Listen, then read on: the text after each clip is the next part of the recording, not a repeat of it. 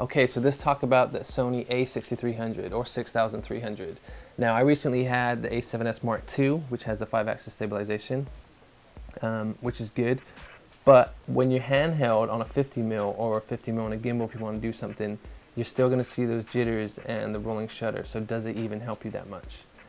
Now, for something that's just under a thousand pound and does a better image slightly because you're downscaling from 6K to 4K and you still got slow-mo, all you're really missing is the full frame and the five axis. And in my opinion, go for this guy. I mean, the A7S II is still good, but if you want something on a budget that's amazing, I kind of prefer this. And I kind of prefer a Super 35 anyways. So, um, and LUTs, if you, if you struggle with grading, I got my LUTs for S-Log2 and S-Log3, but I still don't recommend shooting S-Log3 on these cameras because of the 8-bit. So S-Log2 is good.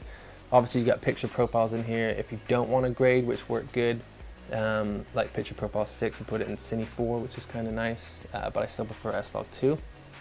Um, I tested out the slow-mo, like if you set 1080p to 50 frames per second or 60 frames per second to see if it's sharper than 100 frames per second, it is sharper slightly, but not much. So don't worry about missing those frames just to get a sharper image. So I always go for 100 frames per second, and I like to conform in camera using the high frame rate rather than conforming it later. It just saves me time and, and speed. Um, just lazy, but yeah. I've noticed no difference in sharpness, so might as well just conform it in camera.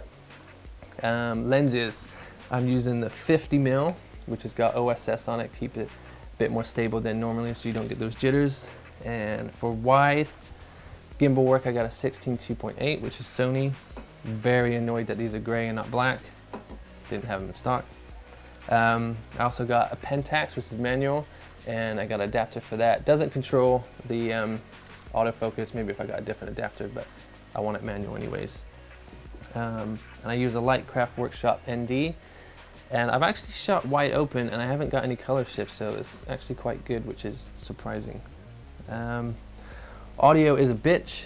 Um, no headphone jack, so that's a tricky one. Um, so at the moment I'm just using lavs and I set it to about 20%, 18% in camera and it gets me no distortion, um, which is nice. So if you're doing lavs, set it to about 18, 20% in the volume. Um, you could obviously put a Rode mic on there. I haven't tried that yet, so I don't know the volume settings without headphones. So unfortunately, to start with, you're gonna have to record, monitor it back, record again, and see what levels work and don't get you distorted. And once you know that, you, are gonna be fine.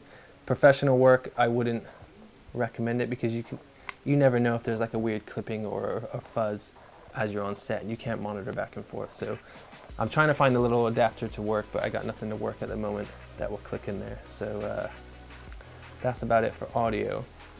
But it's amazing. I mean, the pictures are better on this than the A7S II. It's 24.2 megapixels. The A7S II was what, 12 or 16, I can't remember, but they weren't very nice. So the pictures look quite nice out of this. If you did want to go full frame, just get your Metabones adapters and whack them on, but I quite like Super 35.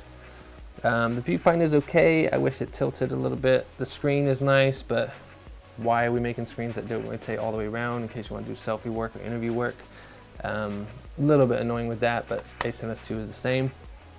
Menu's still a bit annoying when you jump in, um, but I'm kind of used to it now. I kind of used to the buttons and setting up the custom buttons and things like that.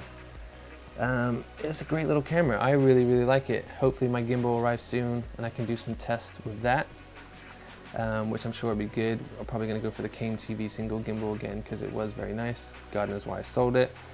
Um, I just didn't expect this to come out. So I definitely recommend this camera, but NAB is around the corner and so is probably another thousand cameras because Sony release them every couple of months. There's the new Canon, which is five axis, but we don't know if it's got good autofocus, only 60 frames, not 120. Um, so yeah, I recommend it for under a thousand pound, can't really go wrong. Um, so yeah, I hope this helps people out. I'll go over some footage and some test stuff. Okay, so we're here in Premiere and I got some footage I just shot on the A6300, just some little clips. The S-Log2 LUTs. We're gonna click over here and we're gonna browse and we want just the base LUT. Now, works perfectly with that file. Everything looks good, blacks are nice, colors are nice, highlights are nice. Now say this file here, which you shot, because I've been getting a lot of people asking questions of um, it's too bright or it's too dark. I can't get the colors to look right. My quick fix that I find, um, this one is shot slightly more overexposed than the other one. So if I apply that same LUT, it's not going to look the same. So it almost kind of like I didn't do much to it. Now my quick fix is I just leave it there and I just grab the exposure level and I just dial it down just a little bit.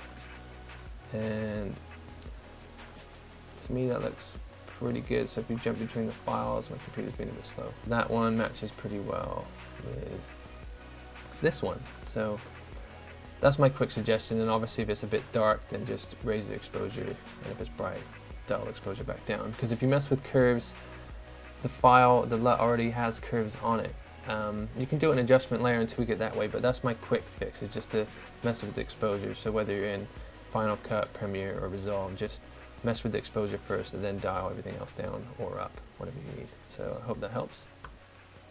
Great little camera.